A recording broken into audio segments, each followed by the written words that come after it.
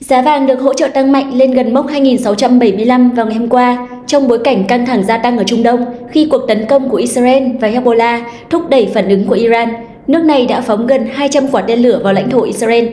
Thủ tướng Israel ông Benjamin Netanyahu đã thề sẽ trả đũa Iran vì một cuộc tấn công bằng tên lửa vào ngày hôm qua, nhưng Tehran cảnh báo rằng bất kỳ phản ứng nào cũng sẽ dẫn tới sự tàn phá to lớn, làm dấy lên nỗi lo về một cuộc chiến tranh rộng lớn hơn. Bên cạnh đó, việc thị trường kỳ vọng Fed sẽ tiếp tục cắt giảm lãi suất trong những tháng tới cũng hỗ trợ giá vàng. Quay trở lại với vàng, khoảng hơn một tháng trở lại đây thì như các bạn đã biết, thị trường vàng cực kỳ nhạy cảm với các tin tức liên quan tới chiến tranh và địa chính trị. Chỉ cần có một chút thông tin thôi là giá có thể biến động cực mạnh, còn hơn cả lúc ra tin 3 sao. Chính vì tin tức ảnh hưởng nhiều như vậy nên phân tích kỹ thuật trong giai đoạn này sẽ giảm đi độ chính xác khá nhiều. Các bạn cần hết sức lưu ý nhé. Mình thì vẫn bám sát cả phân tích kỹ thuật lẫn phân tích cơ bản. Tuy nhiên, mình không thể biết trước tất cả diễn biến mới nhất trên chiến trường. Chính vì vậy, việc quản lý vốn, tuân thủ stop loss là chìa khóa cốt lõi để chúng ta vượt qua giai đoạn này mà vẫn lành lặn các bạn nhé. Về tin tức của ngày hôm nay, thị trường sẽ chú ý tới dữ liệu bảng lương ADP sẽ được lên lịch công bố vào lúc 19 giờ 15 phút. Hiện tại dữ liệu đang được kỳ vọng là 124.000, tăng nhiều hơn so với kỳ trước là 99.000. Nếu dữ liệu thực tế công bố vượt kỳ vọng, vàng sẽ chịu áp lực suy giảm. Ngược lại, nếu dữ liệu công bố yếu hơn kỳ vọng, vàng sẽ được hỗ trợ tăng tiếp. Ngoài ra, trong tuần còn nhiều dữ liệu kinh tế quan trọng khác như PMI dịch vụ và bảng lương non-farm sẽ được lên lịch công bố vào thứ năm và thứ sáu, có thể làm thay đổi kỳ vọng về cắt giảm lãi suất của Fed. Và tối nay vào lúc 19 giờ, mình sẽ mở livestream trực chiến Sky vàng. Mời tất cả mọi người tham gia buổi livestream ngày hôm nay của mình nhé. Và trước khi đến với phân tích vàng, chúng ta sẽ đến với DXY, chỉ số sức mạnh đồng đô la Mỹ. Chỉ số đồng đô la Mỹ đã đạt mức cao nhất trong tuần vào phiên giao dịch ngày thứ ba, được thúc đẩy bởi nhu cầu trú ẩn an toàn sau khả năng leo thang xung đột ở Trung Đông. Những bình luận hơi hướng diều hâu của Chủ tịch Fed ông Powell báo hiệu không vội cắt giảm lãi suất, thúc đẩy kỳ vọng về mức giảm nhỏ hơn 0,25% cắt giảm lãi suất. Dữ liệu JOFTS tháng 8 của Hoa Kỳ cũng cho thấy có thêm 329.000 việc làm, cho thấy thị trường lao động mạnh mẽ hơn dự kiến.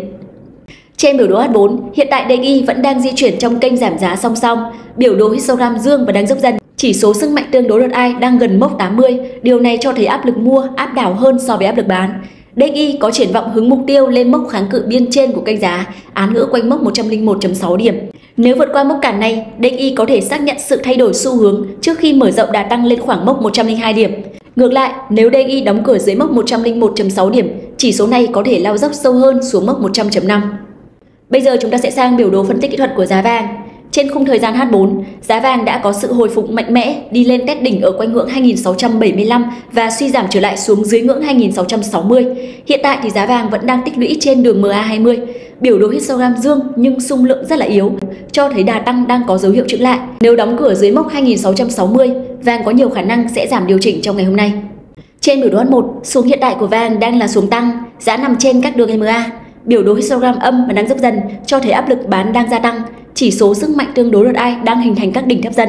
Kiểm tra với Fibo, kéo Fibo thì chúng ta thấy là mốc hỗ trợ Fibo 50%, 61,8% ở quanh khu vực 2643 đến 2648 là những mốc mà vàng có thể sẽ tìm về trong nhịp này. Nếu vàng tiếp cận vùng hỗ trợ này và xuất hiện các tín hiệu đảo chiều, các nhà đầu tư có thể cân nhắc canh mua lên với vàng. Trong trường hợp vàng phá qua mốc 2640 và gãy khỏi kênh tăng giá song song, vàng sẽ đi xuống kiểm tra vùng hỗ trợ đáy gần nhất ở quanh khu vực 2627 đến 2630 trong nhịp này trước khi có thể giảm sâu hơn xuống mốc 2600. Ngược lại, việc duy trì trên mốc 2640 có thể gợi ý khả năng kiểm tra lại mốc cao kỷ lục 2685 trước khi hướng tới mốc 2700. Trong phiên Á Âu, các nhà đầu tư có thể cân nhắc canh bán xuống khi vàng quay trở lại vùng kháng cự gần nhất ở quanh khu vực 2664 đến 2668 và xuất hiện các tiêu đầu chiều. Với chiến lược mua, chúng ta sẽ mua quanh khu vực 2643 đến 2648 nếu xuất hiện tín hiệu từ chối giá, dừng lỗ khoảng 5 giá. Bước vào phiên Mỹ, chúng ta sẽ cùng nhau thực chiến và mình sẽ chia sẻ nhận định cũng như phân tích kỹ thuật trong buổi livestream. Mình xin dừng video nhận định xuống giá vàng ngày hôm nay ở đây. Cảm ơn các bạn đã quan tâm, theo dõi. Nếu các bạn thích video này thì hãy ủng hộ mình bằng cách like video và chia sẻ nó cho những ai đang cần. Hãy subscribe kênh Easy Signal để cập nhật thêm những video kiến thức cực kỳ giá trị về thị trường. Và nếu các bạn có thắc mắc hay góp ý gì cho video của bên mình thì các bạn hãy để lại bình luận ở phía dưới cho mình nhé. Chúc mọi người có một ngày giao dịch thành công và gặp nhiều may mắn. Xin chào và hẹn gặp lại các bạn ở video nhận định xuống giá vàng tiếp theo.